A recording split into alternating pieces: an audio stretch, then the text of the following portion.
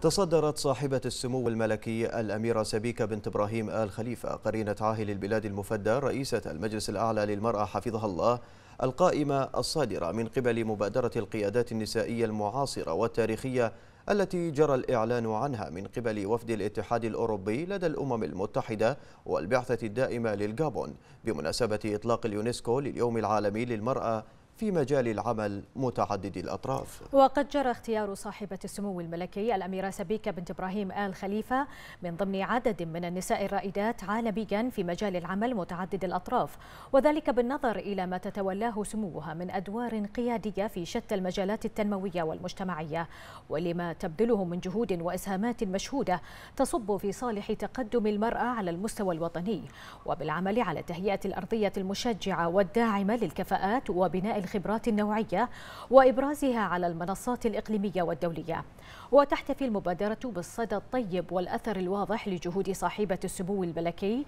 من خلال رئاستها للمجلس الأعلى للمرأة والمتمثل في متابعة تقدم المرأة البحرينية ودعم مشاركتها في مجال العمل السياسي وصنع القرار ومساهمتها في الاقتصاد الوطني وتوفير أسس ومقومات استقرارها الأسري حيث تقف سموها وراء العديد من المبادرات التي تحقق متطلبات التوازن بين الجنسين في كافة مناحي التنمية الوطنية. إلى جانب اهتمام سموها بتشجيع ودعم المشاريع التي تهدف إلى تنويع ورفع المشاركة الاقتصادية للأسرة البحرينية ومساندتها لأعمال مؤسسات المجتمع المدني وفتح مجالات التعاون والشراكة بين المجلس مع كافة المؤسسات تقديرا لدور المجتمع في تحقيق الأهداف والأولويات الوطنية الداعمة لتقدم المرأة. وتضم المبادرة إلى جانب صاحبة السمو الملكي الأميرة سبيكة بنت إبراهيم آل خليفة نخبة من القيادات النسائية المؤثرة. هذا وكانت منظمة اليونسكو قد أعلنت في يناير الماضي عن اليوم العالمي للمرأة في مجال العمل متعدد الأطراف استنادا إلى قرار تم تبنيه في شهر نوفمبر 2021 خلال المؤتمر العام لليونسكو دعما وتقديرا لدور المرأة الهام والمؤثر في العمل متعدد الأطراف من أجل النهوض بالسلام والأمن وحقوق الإنسان والتنمية.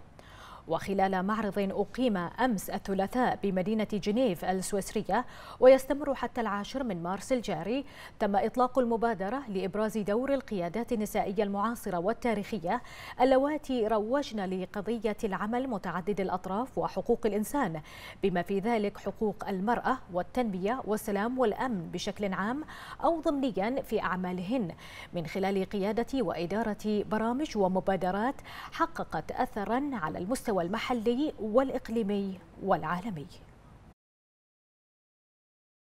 منذ إنشاء المجلس الأعلى للمرأة برئاسة صاحبة السمو الملكي الأميرة سبيكة بنت إبراهيم الخليفة قرينة جلالة الملك المفدى والمجلس يخطو بخطوات واثقة ومدروسة وسريعة نحو تطوير استراتيجياته وخططه التي تهدف إلى تقدم المرأة البحرينية وتحقيقها للإنجاز تلو الآخر. فما وصلت إليه اليوم المرأة البحرينية من تطور وتقدم في كافة المجالات كان بفضل رعاية واهتمام صاحبة السمو الملكي. الأميرة سبيكة بنت إبراهيم آل خليفة رئيسة المجلس الأعلى للمرأة التي لم تألو جهدا في تشجيع وتسخير كل الإمكانات لتحقيق هذا الهدف.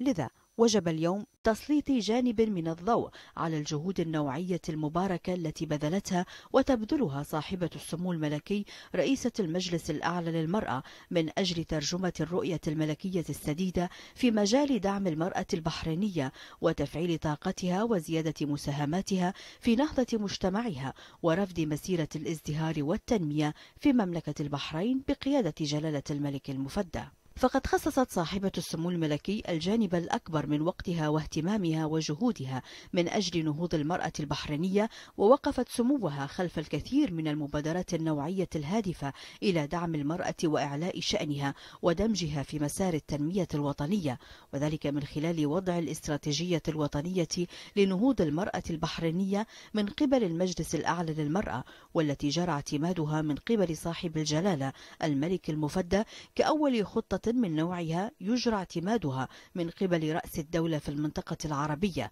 وباتت هذه الخطة منهاجا لعمل المجلس الأعلى للمرأة. كما وعملت سموها على إعلان برنامج هو الأول من نوعه في المنطقة العربية للتمكين السياسي للمرأة البحرينية وذلك في العام 2006 ويهدف إلى دعم وتمكين المرأة البحرينية من خلال تقديم البرامج التدريبية والتحفيزية المتخصصة والاستشارات النوعية لدعم مشاركتها في الشأن العام وتهيئتها للدخول في المجال السياسي من خلال القنوات الدستورية التي تضمنها المشروع الإصلاحي لجلالة الملك المفدى. وفي العام 2008 أطلقت صاحبة السمو الملكي الأميرة سبيكة بنت إبراهيم آل خليفة قرينة عاهل البلاد المفدى رئيسة المجلس الأعلى للمرأة مبادرة يوم المرأة البحرينية والتي باتت مناسبة وطنية تحتفل بها مملكة البحرين في الأول من ديسمبر من كل عام بشعارها الرئيسي قرأت تعلمت شاركت للاحتفاء بالشراكة الوطنية للمرأة البحرينية في بناء الوطن. وتشجيعا من سموها للوزارات والمؤسسات الرسمية والخاصة على دعم وتمكين المرأة البحرينية العاملة وزيادة نسبة تأهيل وتدريب المرأة وإدماجها في خطط التنمية الوطنية. أطلقت صاحبة السمو الملكي رئيسة المجلس الأعلى للمرأة جائزة سموها لتقدم المرأة البحرينية والتي حققت نجاحات متزايدة خلال دوراتها الست والتي جرى تنفيذها حتى الآن. وانتقلت تجربة مملكة البحرين للعالمية مع إطلاق هيئة الأمم المتحدة للمرأة بالشراكة مع مملكة البحرين جائزة سموها العالمية لتمكين المرأة في يونيو من العام 2016 وبالتعاون مع المجتمع الدولي للإسهام في بيان ما تحقق ميدانيا من تقدم مستدام لضمان التنافسية وعدالة المشاركة بين الجنسين ولتعميم أفضل المنهجيات والممارسات الفاعلة لتعزيز مركز المرأة على المستوى العالمي.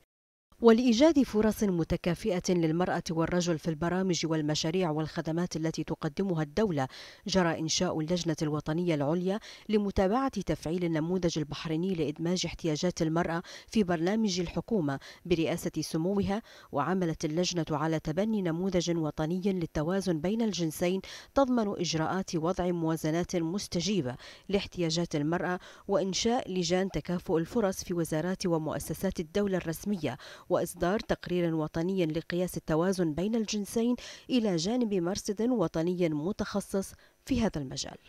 وفي مبادرة كريمة من سموها لرعاية وتشجيع رائدة الأعمال البحرينية الشابة وإبراز الطاقات والكفاءات الشابة المتميزة في مجال ريادة الأعمال. تم إطلاق مبادرة امتياز الشرف لرائدة الأعمال البحرينية الشابة وتمنح نظير المشاركة في تنمية الاقتصاد الوطني. إضافة إلى تأسيس مركز تنمية قدرات المرأة البحرينية ريادات وهو أول حاضنة اقتصادية مخصصة للمرأة في الوطن العربي. العربي. وفي الإطار ذاته أسهمت جهود سموها في تأسيس محفظة مالية بالتعاون ما بين المجلس الأعلى للمرأة وصندوق العمل تمكين وبنك الإبداع بقيمة مليوني دينار لتمكين المرأة البحرينية اقتصاديا في المشاريع متناهية الصغر. كما باركت سموها إطلاق محفظة تنمية المرأة البحرينية للنشاط التجاري بالتعاون مع بنك البحرين للتنمية وتمكين وتبلغ قيمتها 100 مليون دولار أمريكي. وعلى صعيد دعم الأسرة البحرينية حرصت صاحبة السمو الملكي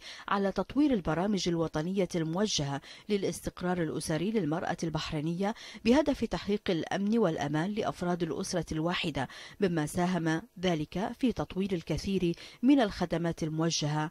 للمرأة البحرينية. وتهتم سموها بتوسيع مظلة استفادة المرأة البحرينية من الخدمات الإسكانية كجزء من برنامج متكامل يتيح لها مستوى يرفع من جودة حياتها كما تتابع صاحبة السمو الملكي بشكل دقيق أعمال وبرامج الجمعيات النسائية المتعددة في المملكة وتسعى من خلال مؤسسة المجلس الأعلى للمرأة لإيجاد السبل للتعاون المشترك مع هذه المؤسسات المدنية على صعيدي العمل النسائي والأسري. وقد تم منح سموها قلادة المرأة العربية من جامعة الدول العربية نظير ما تبذله سموها من جهود لاستدامة تقدم المرأة البحرينية وتعظيم إسهاماتها التنموية إضافة إلى العديد من الجوائز والأوسمة نظير دورها الفاعل في مجالات العمل النسائي والاجتماعي. كما وتولي سموها اهتماما بالغا بدور الشباب من الجنسين في رسم السياسات المستقبلية وإعدادهم الإعداد الصحيح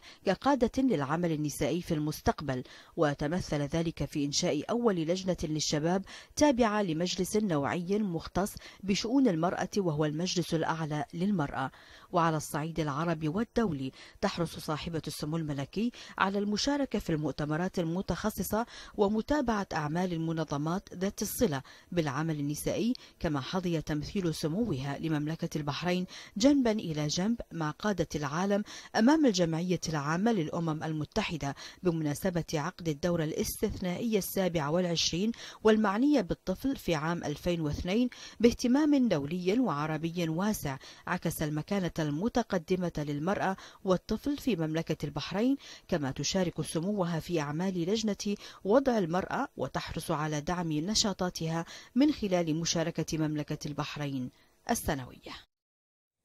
سهير عصفور لمركز الأخبار تلفزيون البحرين.